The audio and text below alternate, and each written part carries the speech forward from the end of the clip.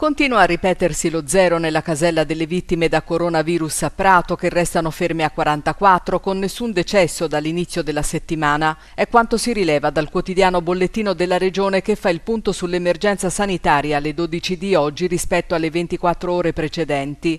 In questo arco di tempo sono stati tre i nuovi positivi nella provincia di Prato, 546 il totale dall'inizio dell'emergenza, mentre in Toscana si contano complessivamente 30 nuovi tamponi positivi sui 4.186 analizzati da ieri. Sette dei nuovi casi sono conferme di positività emerse attraverso la campagna di test seriologici avviata dalla Regione Toscana a partire dalla fine di aprile. A livello regionale si registrano nove nuovi decessi, quattro uomini e cinque donne con un'età media di 74 anni.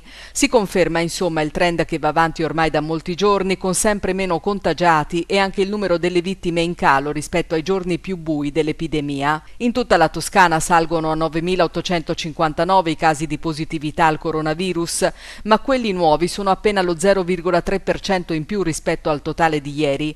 I guariti crescono del 3,7% e raggiungono quota 5.498, il 55,8% dei casi totali. Complessivamente ad oggi risultano ancora positive in Toscana 3.388 persone, di queste 3.051 sono in isolamento a casa, poiché presentano sintomi lievi che non richiedono cure ospedaliere o risultano privi prive di sintomi, mentre sono ricoverati in ospedale 337 pazienti, 19 in meno di ieri, di cui 68 in terapia intensiva, meno 4 rispetto a ieri.